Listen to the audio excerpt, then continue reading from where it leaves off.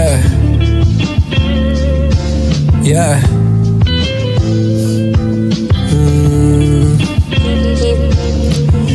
Gotta sweep the kitchen floor. Gotta keep the eggs in a row. Don't let the chickens know.